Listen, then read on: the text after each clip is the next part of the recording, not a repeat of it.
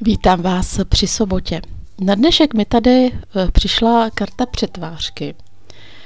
A já už jsem ji v jednom tom povídání o ní mluvila, nebo budu mluvit, teď nevím, jak to tam vychází časově. Eh, ze sady Archeo. A já nevím, jestli to je vůbec jako příjemné téma, ale budíš, tak vyšlo nám to tady na sobotu, tak si o tom popovídáme. Přetvářka je tedy víkendovým tématem a může nám tedy v tento čas eh, víc vadit, když na ní narazíme u sebe nebo u druhých. Je to také čas, kdy možná v té vší čistce uvidíme výrazněji právě tu eh, přetvářku a bude nám nepříjemné, i když sami sebe budeme někde tlačit do životního naladění, které vlastně vůbec není naše. Když jsem se zamýšlela na tohle kartou, přišla mi na mysl taková mm, věc, takový nepříjemný příklad, že, a teď se omlouvám, eh, že třeba někdo tvrdě žijící ezoterikou a fakt už není nohama na zemi, mm, zjistí, že všechno to byl podvod a že mu to v životě vlastně víc bralo, než dávalo. Já třeba chápu, že někdo to má nastavené tak, že má skutečně podmínky k tomu, aby ho to živilo, aby tím naplno žil, aby opravdu žil ze vzduchu a cítil se jako eh, třeba bohyně.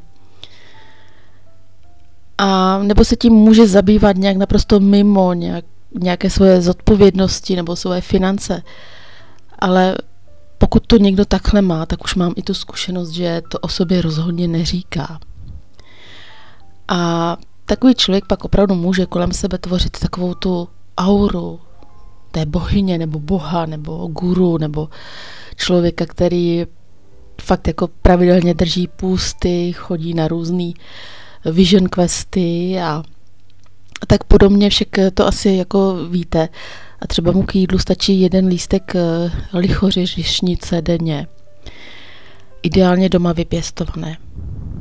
A teď si vezměte, že nedej bože, přijde někdo nešťastný a bolavý a začne mít pocit, že tohle k životu stačí. A cítíte ten průšvih, který se řídí na toho člověka. Tak tady mám pocit, že může jít o tu chvíli toho prozření. Ona ta karta je, já nevím o jaké víře přesně, ono to tam je tak zletně popsáno a je to o tom, že jako nežijete tu víru, kterou vyznáváte. Ale ono to podle mě platí i opačně. Někdo mm, žije jakoby nějakou víru, ale nic mu to nedává, protože nemá životní podmínky pro to, aby ji žil. Samozřejmě my tady třeba nemůžeme žít tak jako mnichové tamhle v Himalajích. A je hrozně nebezpečný, když se nám tvrdí opak. No a pak přijde právě ta chvíle, kdy ten člověk zjistí, že vlastně tohle ho vůbec nenaplňuje, že potřebuje k životu zázemí, maso, obyčejné hovory s obyčejnými lidmi, že potřebuje si vydělat každý měsíc a že potřebuje především, což je často ten největší pád na hlavu, řekněme až, že potřebuje svoje problémy řešit opravdu sám a od podlahy. Protože meditace, snímání problémů někým druhým, léčení energiemi prostě nefunguje. Já neříkám, že to nemá vůbec žádný účinek. Na něco určitě ano. Pro někoho určitě ano. Ale nikdy to tak není. Dost často to tak není. A právě o tom tahle karta je, karta pokrytec, kterou jsem na dnešek z té sady Archeo vytáhla. A abych byla spravedlivá, tak to zrovna je taková karetní sada, kde když se do ní úplně jakoby zažerete, tak eh, tam celkem lze ulítnout mimo tu realitu, protože se mm, ona je taková taková zvláštní. Mně osobně třeba moc nesedí, ale čas eh, od času je dobré se zamyslet nad některými významy. Je to vlastně takový tarot, ale trošku, trošku jinak. Mm, tady se tedy mluví o krizi víry, o tom, že jestli tu víru zastáváte každou buňkou svého těla, nebo prostě ne.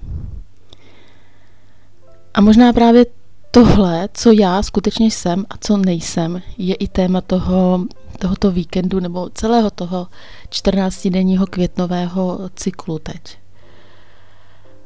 A já mám ale z téhle karty, byť je na ní napsáno něco, řekněme, trošku jiného, spíš pocit, že by bylo užitečnější, aby nás spíš od těch extrémních vír odváděla, než nabádala, abychom se z toho zbláznili, jen proto, že to potřebujeme žít a potřebujeme prokázat, že jsme věrni své víře.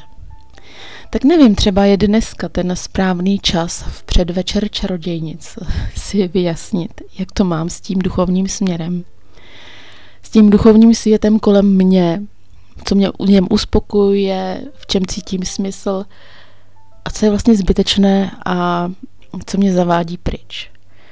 Nakolik je to, co duchovně žiju, opravdu moje a nakolik je to něco, o čem si myslím, že bych to měla žít. Nebo hůř, nakolik si myslí ostatní, že by ten můj svět měl být.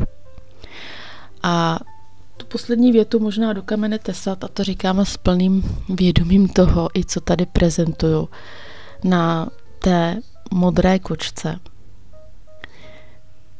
Protože já doufám, že nikoho takhle nesvádím, protože se vždycky snažím i v těch výkladech, aby to byla jen taková malá inspirace ke kávě jak čaji a čas od času si prostě připomínáme některá důležitá životní témata a moc dobře si uvědomuju, že je to neustále dokola to samý. Protože proč? Protože život je neustále dokola to samý. Tak asi tak. Je to dneska trošku zvláštní, ale tak to přišlo. A možná to tedy v ten předvečer tohoto jarňoletního svátku je velmi důležité si ujasnit. Tak se mějte krásně.